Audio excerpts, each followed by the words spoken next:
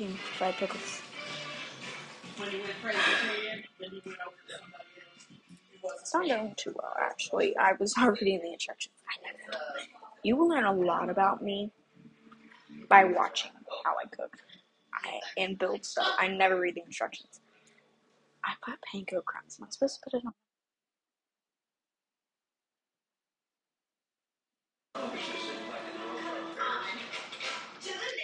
Oh, I gotta finish cooking that one. But then the stove turned off. So if y'all would like more cooking videos, me know. But I got the impression it's cancer. And I'm also using a sterile glove, so I'm not touching the food with this hand, uh, so that I can grab the tongs. How got y'all day? This was my church fit. I wore a jacket though.